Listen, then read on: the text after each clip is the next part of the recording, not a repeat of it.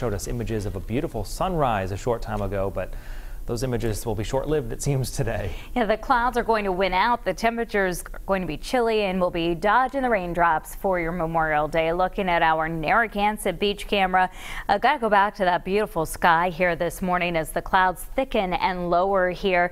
We are going to see a generally cloudy day for us. Certainly a lot more clouds and sunshine.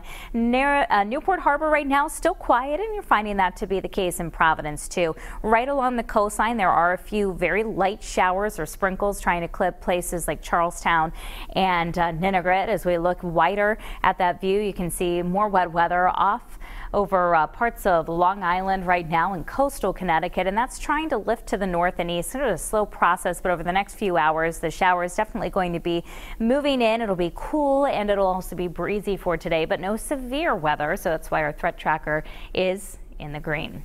And we're going to keep it that way for Tuesday and on Wednesday. Our temperatures outside running from the upper 40s inland to the low and mid 50s along the coast. Newport's at 52, Westerly 54, 51 in New Bedford. And we've got a lot of 50s across uh, New England this morning as we move into the afternoon. System passing to our south and to our north and combination of both of those will give us the clouds and the showers and notice how much cooler it's going to be around here compared to areas just to our west where they'll be basking in summer's warmth. For us, it's an area of low pressure passing to our south. It'll deliver some showers.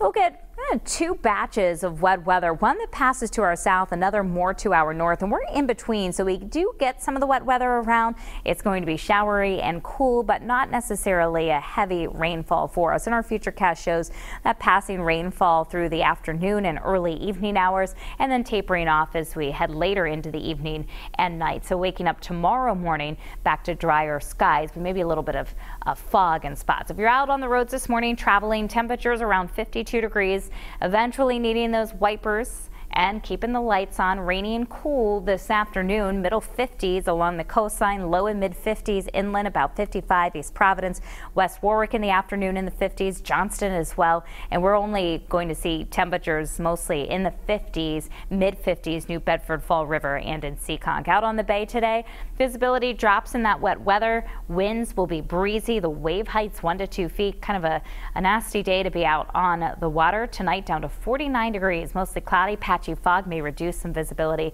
for the start of the morning commute tomorrow. So morning fog giving way to partly sunny skies, not as chilly, but still running a little cooler than normal into the mid and upper 60s for highs on Tuesday. Tuesday night into Wednesday morning, a shower possible, a high around 72. Thursday looks dry comfortable. 75 we have some low 70s on Friday with a shower possible and then the weekend right now looking mainly dry. Maybe some showers by Sunday evening or Sunday night. You can get the updated future cast track the rainfall for today